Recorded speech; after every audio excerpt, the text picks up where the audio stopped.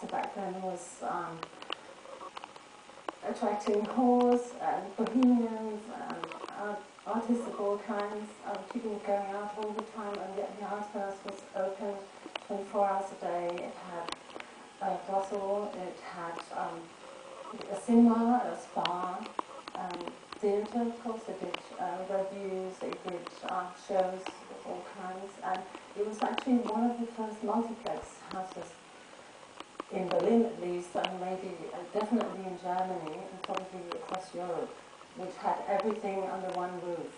The walls of the house breathe that atmosphere. You can sense it, you can still sense it. Berlin has always been a very excessive um, city, actually, uh, I think.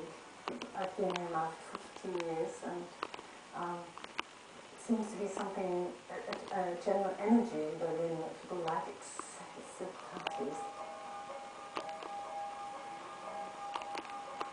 Who are actually the women that are involved in burlesque or stripping or any kind of erotic performance? I mean, where did it actually come from?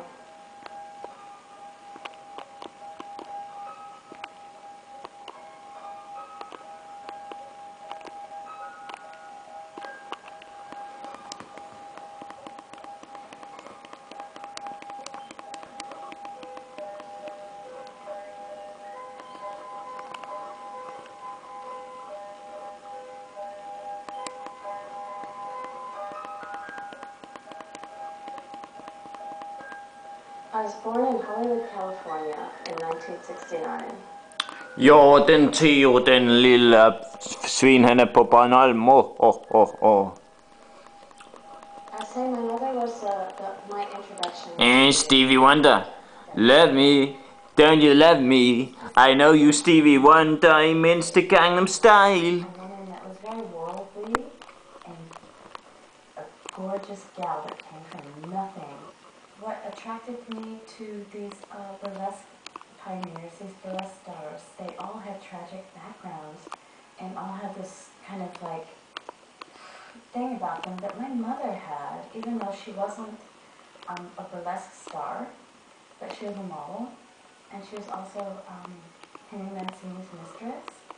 Uh, it was just like women that like were abused and fucked over by men and society and try to make their way in the world, you know, in outside of the conventional manner.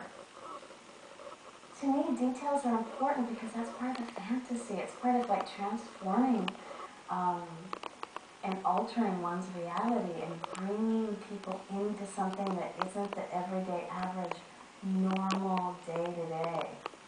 You know what I mean? That's what makes something